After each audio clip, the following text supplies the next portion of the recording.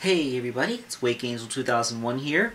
As of the time of this recording, it's about 2 in the morning, so I don't want to be too loud, and I want to keep it a little brief.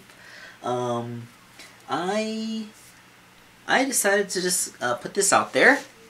I am making, ooh, it's a little oversaturated because of the light. I'm making an Angel the Dog figure for the Jakks Pacific scale, so it's 4 inches.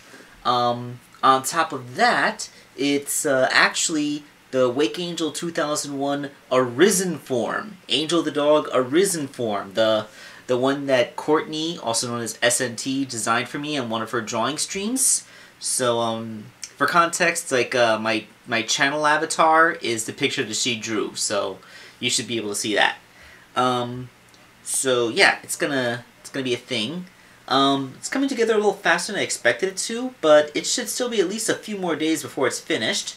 So um, I decided to, why not get some audience participation in? So um, any of my uh, fans out there, why don't you draw some Angel the Dog fan art? Um, like you might want to stick with the uh, Arisen form, because uh, that's the theme going on. Or maybe you just want to draw him in an alternate costume, or however you like, or maybe interacting with your own OC, or, you know, just that kind of thing. So, um, go ahead and draw your pictures, and, uh, and then I will, you know, I'll, I'll put them in the video when I make the Arisen form. And if it's a thing that people keep wanting to do, then uh, maybe at the ends of my videos I'll put up people's fan art. Because, you know, a lot of a lot of YouTubers do that. Like, uh, yeah, go ahead. Draw draw fan art of Wake Angel's character, Angel the Dog.